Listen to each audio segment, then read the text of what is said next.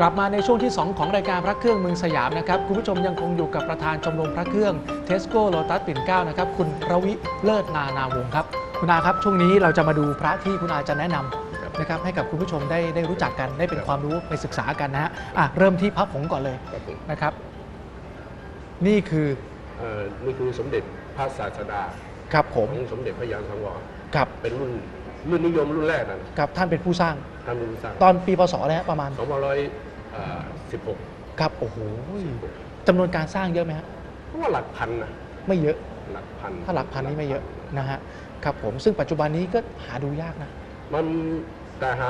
มันมีปะไปายอยู่ครับ องค์ละไม่กี่หมื่นบาทก็ส่วนใหญ่จะไม่สวย ครับผมอ๋อถ้าสวยระดับนี้ก็ต้องเป็นแสน ครับคืออยู่ที่ความสวยงามใช่ใช่ใช่นะฮะนะครับองค์นี้คือความสวยงามสักกี่เปอร์เซ็นต์แบบนี้ ถ้า แกบอกว่าร้อยหนึ่งเดี๋ยวบางคนก็แซวอ๋อ ประมาณเก้าสิบกว่าเปอร์เซ็นต์คือสภาพไม่เคยใช้งานอะว่างั้นเถอะเพราะว่านะครับผม เพราะพิมพ์ท่านเก็บจะดีตื้นแต่ว่าติดหมดทุกอย่าง ครับ อ๋อ คือโดยส่วนใหญ่แล้วพิมพ์ท่านจะตื้น จะตื้น แต่เผอิญองค์เนี้ยตื้นแต่ติดชัด ติดชัดครับผมทั้งอ๋อ ตาหูตาจมูกครับ คือหายากนะจะที่จะติดชัดแบบนี้นะฮะ สังเกตด้านหลังจะเป็นแปะทองไหม เออเนี่ยถามเนี่ยดีเลยคือคืออย่างนี้นะฮะไอ้พิมพ์ศาสดานี่ถ้าครับ ข้างหลังแปะทองนี่ให้เป็นที่เข้าใจว่าเอ่อส่วนใหญ่ ท่านจะประทานกับมือให้ ครับผม จะไปทำบุญก็ตามแต่แล้วท่านจะส่งจากมือให้ โดยการท่านจะปิดทองก่อน ท่านจะสั่งไว้บอกว่า กลับไปบ้านเพื่อเป็นสิริมงคลนี่อ๋อ เอาทองเปลวไปปิดข้างหลัง อ๋อเหรอฮะเพราะฉะนั้นนี่ถ้าทองเปลวปิดข้างหลังใช้ได้ว่าส่วนใหญ่จะเป็นพวก รับกับผู้ใหญ่ ครับผมผู้ใหญ่ที่ได้ได้จากท่านแล้วจะเมไปตตาปิดรับจากมือท่านปิดอ๋อแล้วปิดบางคนก็ปิดไม่เป็นไงครับผม เอาอะไรทาแล้วก็ปิดเออบางคนฮะ เป็นหน่อยก็ไปจ้างเขาปิด ครับผม แต่บางคนถือเข้มมากก็ไม่กล้าเอาครีมอะไรทาแล้วก็ปิดครับผม องค์นี้เดิมทีมันเป็นของนายทหารไงครับแล้วก็ผมปิดได้ปิดได้แค่นี้เอง ครับผม ปิดได้แต่ก็ถือว่าสวยงามนะฮะสวยงาม ครับอะถ้างั้นคุณอาแนะนำหน่อยได้ไหมคือสมมติว่าคุณผู้ชมอยากจะปิดบ้างอะคือปิดการการปิดทูนอต้องใช้อะไรทาต้องยังไงแต่ว่าเดี๋ยวนี้ไม่ต้องเอาลักเลยนะฮะอ่าสมัยก่อนต้องเป็นรักดำๆถูกไหมอ่หายากเดี๋วนี้ใช้สีอุ้ยผมแน่ให้นะฮะใช้สีสีตาทหาร ครับผม ทหารเขาเป็นสำหสีรับอะไรอะเป็นสีสีน้ำมันเป็นสีน้ำมันตาทตาหารทหารเขาสำหรับปิดทองโดยเฉพาะ อ๋อคือแล้วเขามีสีสันไหมฮะตัวตัวเขาสีมีเขานี่สีพวกนี้มันมีสีแดงสีดำสีเหลืองอ๋อก็คือมีสีปกติทั่วไป อ่าแล้วก็คุณทาไว้แล้วประมาณเคยจับไว้ว่าทาบางๆ แต่แล้วทาเต็มเลยฮะฮะแต่ทาว่บางติๆดถูกไหมฮะอบางเหมือนกับแห้งก็ไม่แห้งๆอ๋อหนืดมือๆแต่ว่าไม่ให้ติดมือๆครับ แล้วก็เอาทองเปลวใส่ ทองแค่นั้นเปลวเองจะต้องซื้อทองเปลวร้อยเปอร์เซ็นต์ต้องทองแท้ดิทองแท้นะฮะไม่งั้นอ่าอย่าอย่าเอาทองวิทยาศาสตร์นะเดี๋ยวครับเสียผมเลยไม่ได้เลยนะฮะอ่าซึ่งแหมทองก็ไม่ได้ต้องใช้เยอะมากไม่กี่แผ่นนึงสิบกว่าบาทอย่าไปใช้ซื้ทองปลอมนะฮะต้องทองคำแท้นะครับเพราะว่าคือยิ่งปิดเนี่ยยิ่งนานวันทองจะยิ่งแบบใช่ใช่เปล่งดูสีแล้วออกมาสวยงามเออนะครับอ๋อเนี่ยเทคนิคสีตาทหารถูกไหมได้ นะครับนี่ก็ผมสี่สิบกว่าสี่สิบกว่าปีแล้วนะครับสี่สิบกว่าปีจะจะใช้กาวได้ไหมหรือไม่ควรนะอาจจะไปทำปฏิไปทำปฏิกิริยาอะไรกับพระไหมเรามาปฏิกิริยากับไอ้ตัวปูนผงอืมตัวผงแล้วนานเข้าเกามันจะร่อนเป็นแผ่นอ๋อแต่ถ้าสีมันไม่ใช่มันคืนเนี่ยครับสีน้ำมันมันแห้งไปเลยเออมันคืนนะฮะคือสีน้ำมันนะคุณผู้ชมธรรมชาติเนี่ยทาปุ๊บมันไม่ได้แห้งปั๊บนะเออมันไม่ไม่ใช่เหมือนสีน้ำสีอะคริลิกไม่ใช่สีโปสเตอร์ คือมันจะต้องใช้เวลาใช้เวลาประมาณในการแห้งครึ่ง3าชั่วโมถึงงสี่กว่าวัน ถ้าครึ่งชั่วโมงถ้าเป็นกว่าภาพวาดเนี่ยสามถึงสี่วันกว่าจะแห้งครึ่งชั่วโมงกว่า นะฮะครึ่งครับชั่วผโมมงอืมอืมนะครับ เอาละครับอะต่อนะฮะวิธีการดูมีของเรียนแบบไหม มีของเรียนแบบมีครับ เพราะว่าพิมพ์นี้ตามประวัติเขาบอกว่าปั๊มโดยลงกระสาบเพราะฉะนั้นถ้าลงกระสาบทำงานนี่ตามเหลี่ยมตามมุมตามขอบเนี่ยครับเขาจะต้องเรียบร้อย เขาเขาจะเป๊ะ เขาจะเป๊ะๆเรียบร้อยเลยครับ เรียกว่าโอ้โหออกเออมาเดี๋ยวสวยคุณผู้ชมงาดูสิ คือคมชัดคมได้ชัดได้เหลี่ยมได้มุมนะแบบได้มุมนะฮะเนี่ยแต่ถ้าเจอพระองค์ไหนที่ดูด้วยตาว่าบุบๆเบี้ยวครับผม ๆไม่ใช่แน่อ๋อ ถอดพิมพ์มา อ๋อครับผม คือถอดพิมพ์มางานมันก็ไม่ไม่เนียบเหมือนโลงกระสาบไม่เยร้อยครับผมไม่เยอยอืม มีมีถามว่ามีไหมมีถอดพิมพ์มีครับผม ก็มีเพราะมันผ้ามันแพงไงครับแล้วหดลงไหมขนาดเล็กลงก็เล็กลงนะฮะเล็กลงความแต่คเล็กมลงชัด ลงทุนไม่ได้เพราะบางคนไม่เคยเห็นตัวจริงอ่าต้องมันเห็ก็นไม่ตัวจรู้ริงว่าขนาดไหน ใช่ใช่ถูกต้องนะฮะ สำคัญคือเห็นของจริงให้ได้เออก่อน ต้องเห็นของจริง คือเล่นผ้าอะไรก็ตามแต่ ผมเตือนบอกว่าเล่นผ้ายังตามต้องให้รู้ว่าของจริงเป็นไงก่อนต้องเห็นก่อน ถ้าไม่เห็นนี่ก็เหมือนกับเราไม่เคยกินมะนาวเรารู้ไหมเปรี้ยวไม่รู้รสชาติเขาว่าถูกเปรี้ยต้วอง แต่ไม่รู้ว่าจริงๆเปรี้ยวไม่เปรี้ยวงไม่รู้ว่าเปรี้ยวยังไงอธิบายไม่ถูกไงฮะอ่าแต่ถ้าเราเห็นของจริงปั๊บมองเอ๊ะมันที่ดูครับ มามันไม่ใช่นะอืมนั่นนะแล้วความหนานี่ประมาณนี้ทุกองค์เท่าเทียมบางกันหอมดงค์หเลนายกว่านี้มีอ๋อมีแต่เป็นไปบางได้กว่านี้นะไม่มี เอาละครับ อ่าอืม นะฮะขอบจะเรียบร้อยเห็นไหมครับเรียผมร้อยมากเป๊ะมากนะฮะแล้วคือผงเนี่ยมีความพิเศษอะไรยังไงนะฮะ ผมมีความพิเศษ ผมเข้าใจว่าตอนที่ทำเนี่ย เจตนาทำผมว่าเขาคงจะรวมเอ่อรวมผงต่างๆ ที่ทั่วประเทศมาให้ ครับเพราะผม ตอนนั้น ตอนนั้นได้ท่านได้เอ่อได้เรื่องสมณศักดิ์เสร็จแล้วครับ เป็นรอบใหญ่ไง อืม แต่ภาพพิมพ์นี้ที่บางคนยังไม่รู้ที่เขาเอาเพราะว่า สายวิปัสสนาสายอาจารย์มั่นครับผมอ๋อมาทำพิธีให้ด้วยอ๋อคือตอนคือพุทธาพิเศษกเนี่ยอ่านะตอนพิธีเพราะว่าสมัยก่อนบางคนไม่รู้ครับ สมัยก่อนเมื่อหลังสมน้อยเสียๆตอนนั้น สายอาจารย์มั่นเลยตั้งแต่หลวงปู่ดุลเลยหลวงพ่ออืมสิมเลยที่องค์ลึกๆอะครับผมครับองศามาต้นๆกรุงเทเนี่ยพครับผมส่วนใหญ่จะอ๋อมาพักวัดบวรจริงนะฮะโอ้โหเพราะฉะนั้นพระพวกนี้จะผ่านลุพิกเลยธีมาผ่านพิธีสายอาจารย์มั่นครับถ้าผมคนที่ยึดถือกับสายอาจารย์มั่นจะชอบเพราะชาเพราะพวกกลุ่มนี้อืมนะฮะ แหม่ปกติจะไม่ถามแต่อยากจะถามเป็นความรู้ คือปัจจุบันนี้ค่านิยมหลักแล้ว เออถ้าไม่สวยก็ถ้าไม่สวยที่พื้นๆทั่วไปก็หาหากันก็ประมาณสามหมื่นบาทสองสามหมื่นอ่า แต่ระดับอย่างนี้ต้องแสนกว่าแสนกว่าอ่านะฮะครับแสนกว่าๆประคมารัณบ แสนห้าขึ้น นะฮะอ่าเป็นความรู้ไว้คือปกติผมจะไม่ค่อยถามถึงค่านิยมนะคือไม่อยากไปพูดถึงตรงนั้น เออ แต่อยากให้คุณผู้ชมได้รู้เอาไว้นะฮะเพราะว่านี่ตั้งแต่ทำรายการมาก็เพิ่งจะเคยเห็นครั้งแรกนะครับเอาละครับมาที่เอ่อพระที่คุณอาใช้หลวงพ่อชื้นติดตัวตลอดหลวงพ่อชื้น นะครับคุณอาเล่าถึงหลวงพ่อชื้นนิดนึงให้คุณผู้ชมได้รู้จักหน่อยนะฮะว่าท่านมีประวัติความเป็นมาหลยัวงงไงพ่อบ้างชื่อนี่เป็นพระเกจิอาจารย์รุ่นเดียวกับหลวงปู่ทิมไอ้ยไม่ใช่หลวงพ่อเทียมวัดกาสตาครับผมเอ่อหลวงพ่ออั้นวัดพระยาอ๋อครับผมอ๋อแล้วหลังกับหลวงพ่อชื่อหน่อยหนึงก็คือครับหลวงพ่อดูวัดสแก ครับ แล้วบังเอิญท่านตอนนั้นตอนที่ท่านมีชื่อเสียงกำลังดัง ท่านจับคู่กับหลวงพ่อดู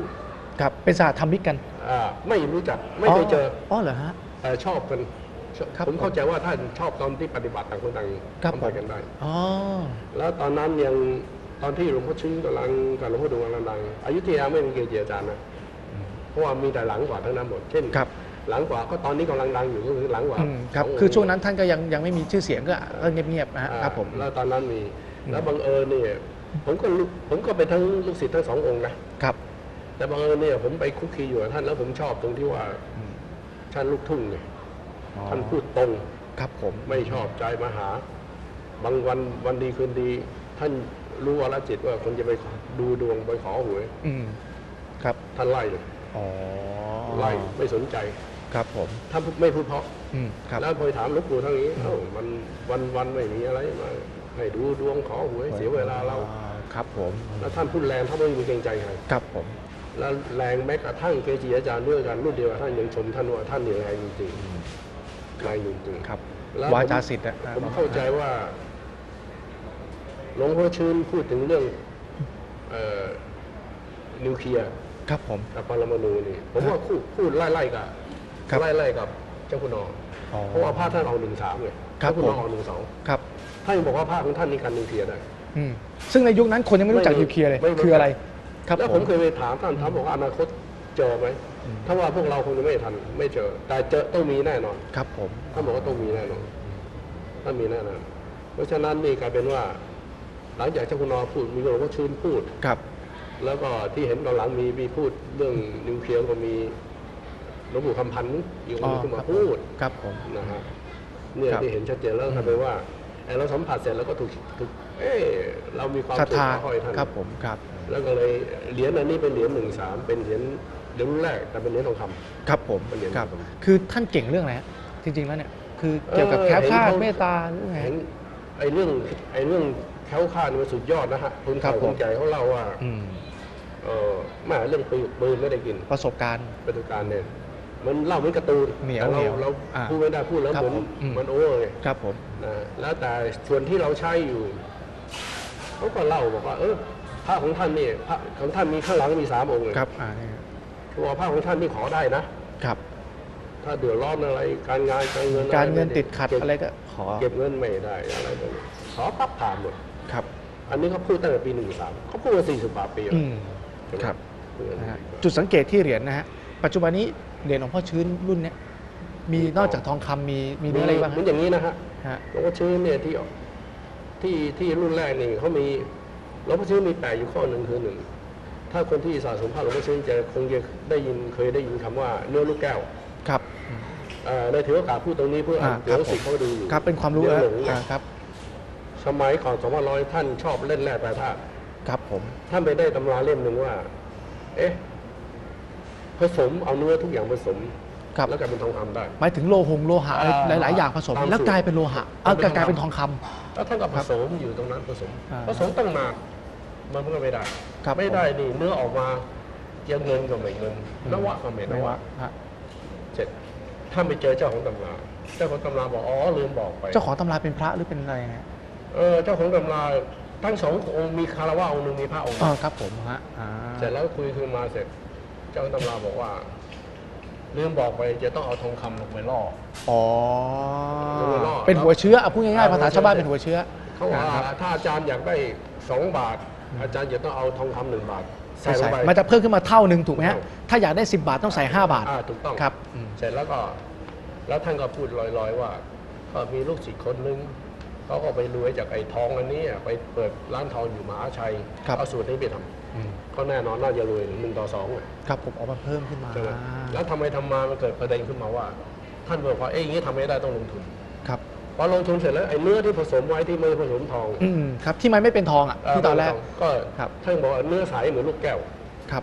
ลูกแก้วคือขาวๆใสอ่าครับผมๆแล้วเนื้อเหมือนลูกแก้วนี่มันเนื้อที่แปลกจะว่าน้ำว่าเอามันว่าเงินไม่หนึ่งอืมตะกัวไม่ตะกัวชิ้นไม่ได้กินอืมไม่ใสครับๆก็เลยกลายเป็นว่าท่านบอกว่าเนื้อลูกแก้วนี่ศักดิ์สิทธิ์ครับเขาเลยผมได้ไปทัดก็เลยไปปั้มเหรียญครับผมกลายเป็นว่า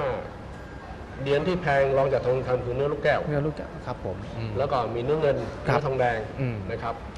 ไอ้เนื้อทองนี่ทั้งหมดมันมาทำสิบสามอัน อืมครับผม เนื้อเงินนี่เนื้อเงินเนี่ยรู้สึกจะทำสามหรือสี่ร้อยอัน เนื้อครัลูบ กแก้วร้อยกว่าอันครับแล้วลูกแก้วเดี๋ยวนี้สวยๆอันนึงก็ประมาณแปดหมื่นถึงแสนอืมเนื้อเงินครับผมเจ็ดแปดหมื่นกว่าอืม ทองแดงก็หมื่นกว่า ครับแหม่คุณอาครับเบรกนี้เวลาจะหมดแล้วครับ ขอสั้นๆ วิธีดูตำหนิดูตรงไหนยังไงฮะ ดูตรงโค้ดนะครับครับ ดูตรงโค้ดโค้ดตึง โค้ดตอกตรงนี้นะฮะนะครับโค้ดตอกครับแต่มันมีปัญหาที่เดียวส่วนหนึ่งไม่ได้ตอกครับส่วนหนึ่งไม่ตอกเพราะฉะนั้นต้องดูอ๋อมีเหรียญคือดั้งเดิมมีเหรียญบางส่วนที่ไม่ได้ตอก คือแจกไปส่วนหนึ่งครับ แล้วเขาถึงเห็นท่าไม่ดีถึงทำโค้ดมาอ๋อแล้วมาตอก เพราะฉะนั้นแจกที่ไม่ได้ตอกแรดูตรงไหนดูตรงไหนฮะก็ต้องดูใบหน้าอ๋อกับข้างหลังครับองผมค์พระพุทธเป็นอืมเกณฑ์ครับมีผมริ้วรอยแตกตรงไหนดูให้ชัดเจอ่านต้องมีความคมชัดมีอะไรดูนะชัดฮะและสำคัญนี่ ต้องพยายามหาเหรียญแท้มาดูก่อน ครับผมสังเกตดูคุณอาตรงนี้มีรอยแตกของเหรียญคืออันนี้ไม่ได้อันนี้แล้วแต่อันแล้วแต่อันนะนี้ฮะมันเกี่ยวกับการทีหลังกะแทกครับผมเอาละครับเอาละฮะวันนี้นะฮะขอบคุณคุณอารวิเป็นอย่างสูงเลยนะฮะที่มาแนะนำนะครับอีกหนึ่งชมรมดีๆนะครับที่คุณผู้ชมก็เดินทางสะดวกสบายใช่ที่จอดใช่รถเยอะนะฮะแอร์เย็นอากาศแอร์เย็นไม่ร้อนนะฮะและที่สำคัญทุกคนเนี่ยมีคุณภาพมีคุณธรรมใช่ใช่และพร้อมที่จะรับผิดชอบครับขอบคุณมากครับคุณอาครับ เลยครับคุณผู้ชมครับช่วงหน้าเราจะไปเยี่ยมชมชมรมพระกันนะครับ ไปดูกันว่าสถานที่แห่งนี้นะครับจะมีร้านไหนที่น่าสนใจพักสักครู่เดียวครับ